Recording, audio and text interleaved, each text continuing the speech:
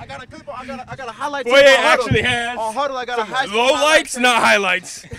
You low lights. The ball was wet and it slipped. It's low lights. the ball was wet in his lip. so now we we sitting here with my guy. First and foremost, happy belated birthday to you. Oh, appreciate that, man. Appreciate it. Thank you. All right, twin. Twin, twin, twin. And then they, they call each other twin, and they don't look nothing alike. Four lifers. Oh, Oh, we got the third one. Beanbag boys.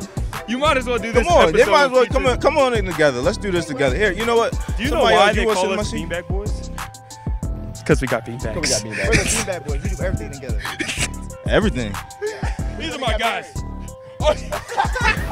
It's getting all right, personal that's a, over that's here. A, that's a little It's too much. You might have to cut over that out. They were at the wedding.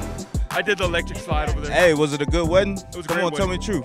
Not that, Great not wedding. that, not that it's pressure right here, cause he here was some good, good food there. It, it was good. Oh, I ate a lot. What's your What's your favorite thing about a wedding? It's just the camaraderie. I was gonna say the free The camaraderie that it brings. The, the friends, the family, the environment. It's just better than going out to like a random bar. Isaiah's family is very cool people. I like them a lot. Yeah. Great people. Very inclusive. You want to shout out the missus right here?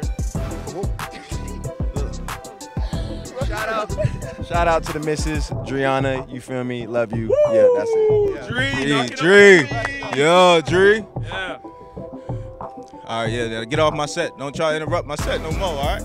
Let, us talk about this, man. The, the cause cause you were you were D tackle. he was a D tackle before. How much did you weigh?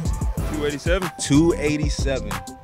And now you made the transition to outside linebacker. You've gotten your body trim, you know, and all that type of stuff. Look at him, you know, his shirt is loose. This is a medium, y'all. This is a medium, and his shirt is loose. We might need to get him a meal. But ultimately, can you talk to tell everybody who doesn't know football, doesn't really understand it? What's that transition like? Uh, it was well for me. It wasn't really intentional. It was just because I was, you know, running a lot in practice. Started losing weight. Already had bigger guys that was in the, you know, scout team in the middle. So I was running on the edge, and just started losing weight. But it's it's it's very the process is very like difficult. Um, just like losing the weight and you know now maintaining it and everything and just kind of learning everything new. It was difficult, but it's definitely manageable. Nothing's impossible in life, you know. Love that, man. Love that.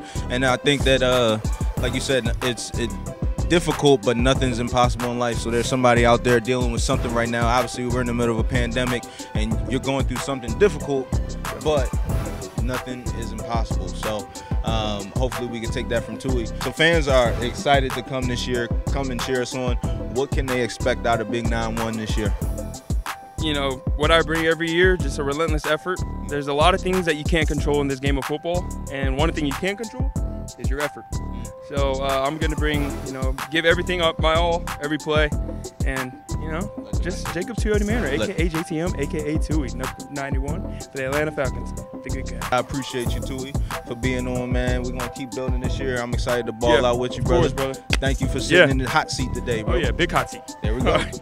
Boom.